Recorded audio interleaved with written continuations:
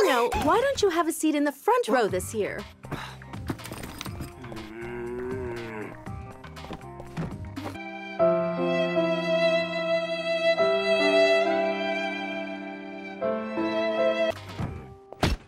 Marinette Dupain-Cheng. Uh, here we go again. That's my seat. But Chloe, this has always been my seat. Not anymore. New school, new year, new seats. That new girl over there. But Listen, Adrien's arriving today, and since that's going to be his seat, this is going to be my seat.